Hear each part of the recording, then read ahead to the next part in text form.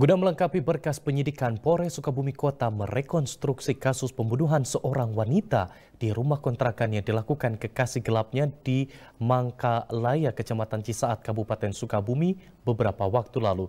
24 adegan digelar dalam rekonstruksi tersebut. Terungkap korban tewas setelah dibekap wajahnya dengan menggunakan bantal oleh pelaku. Dengan pengawalan ketat petugas Satreskrim Polres Sukabumi Kota, AH alias Oma, pembunuh kekasihnya yaitu Fatimah, menjalani proses rekonstruksi.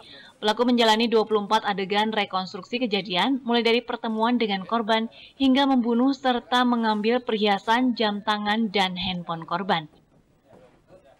Dalam rekonstruksi terungkap, korban tewas setelah dibekap menggunakan bantal hingga kehabisan nafas. Pelaku mengaku membunuh korban karena cemburu setelah kepergok berkomunikasi dengan laki-laki lain melalui sambungan telepon.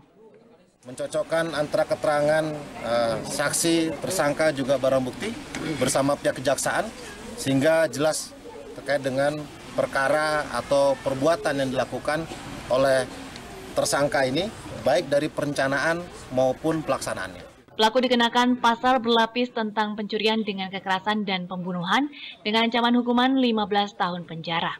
Budi Setiawan, Bandung TV.